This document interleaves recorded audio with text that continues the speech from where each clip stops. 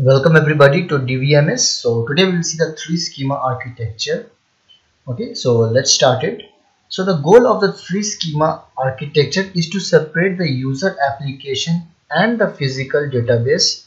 So what happens is since many of the database system users are not computer trained so the developer tries to hide the complexity from the user through the several level of abstractions. So these are the several layers of abstractions so, so this is done simply to increase the UI experience.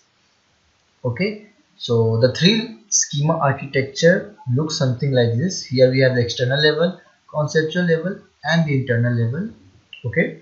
So starting from the internal level so the internal or physical level has an internal schema. So schema basically means the structure. Okay? Structure of the database or the table so the schema uh, so the internal level has an internal schema which describe the physical storage structure of the database. So i hope you can understand. Also written this. So this is what i'm referring to. Okay you can just note it down if you want. So it provides the lowest layer of abstraction and describes how the data is actually stored. So here how data is actually stored. So how actually the data is stored okay?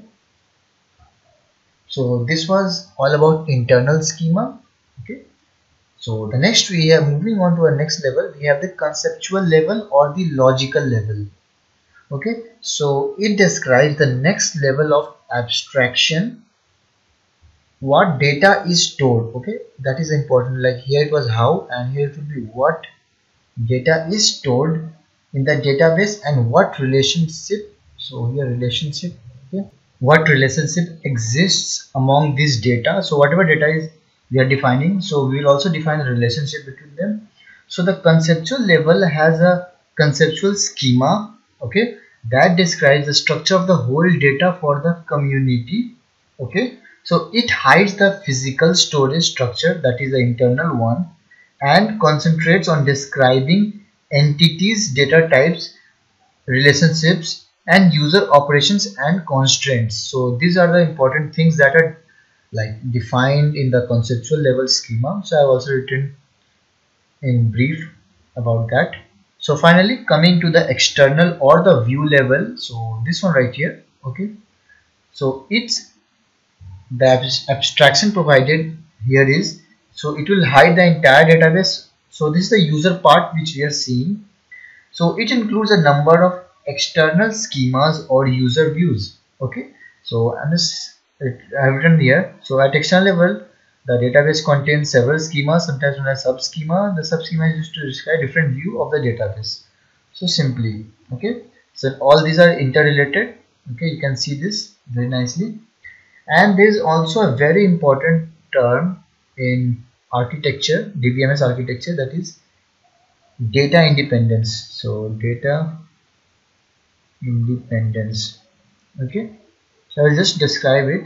So data independence can be defined as the capacity of data to change the schema without changing the schema at the next higher level. So what I mean is suppose I am changing some data at internal level and the change must not affect the change in conceptual level. So I will explain it much nicely so there are two types of data independence okay? So two types. So the first one is logical dependency okay? So logical dependency is the capacity to change the conceptual schema without changing the external schema. So here what happens? So if you change the conceptual schema the external ones should not be affected okay so change in conceptual won't affect external so that is known as so that is known as logical okay logical dependency. And similarly similarly physical data independence is the capacity to change the internal schema without changing the conceptual schema. So here we'll name it as physical data independency so if you change something here this won't get affected okay? So these were important terms and this was everything that you need to know about three schema architecture. This is very important one. So if you had any problem just comment and if you did like the video hit the thumbs up button and subscribe to my channel for more videos. So thanks for watching it